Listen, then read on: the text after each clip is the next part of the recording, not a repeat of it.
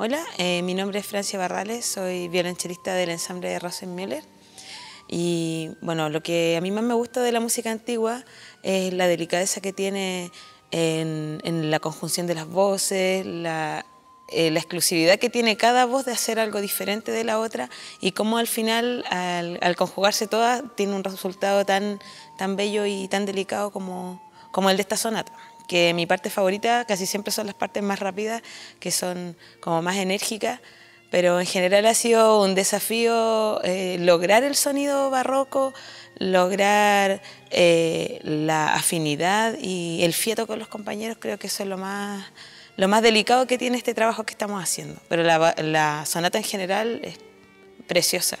y conocer a este compositor ha sido súper enriquecedor para mí y trabajar la música barroca también ha sido un descubrimiento y espero desarrollarme mucho más en esto para, para que salgamos adelante como grupo, para que sigamos en este camino que nos hemos proyectado juntos.